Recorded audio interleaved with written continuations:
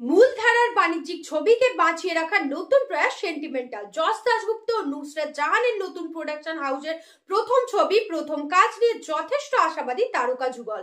সিনেমার পোস্টার থেকে ট্রেলার সবটাই দর্শকদের পছন্দ হয়েছে।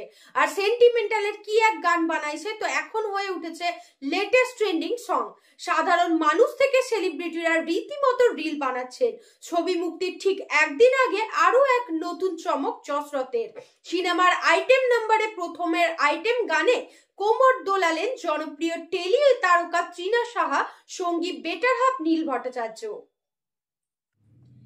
সময় ডিজিটালের তরফে যোগাযোগ করা তৃণা সাহার সঙ্গে তিনি বলেন নুসরাতি আমাকে ফোন করেছিল, আইটেম গানের প্রস্তাবটা দিয়েছিল, কিন্তু ওরাও একটু দোটানায় ছিল যে আমি করব কিনা।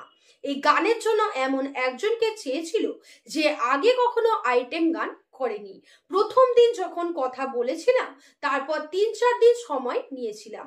আমার ম্যানেজার নীল সকলের সঙ্গে বিষয়টা নিয়ে আলোচনা করেছি। সবাই বলেছিল, আগে সম্পূর্ণটা জানতে।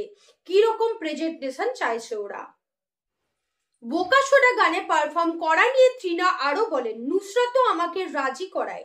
তারপর নিজেও ভাবলাম, একজন অভিনেত্রী হিসাবে নতুন কিছু ট্রাই করা অবশ্যই দরকার, আর সেটা আমারও ভালো লাগে।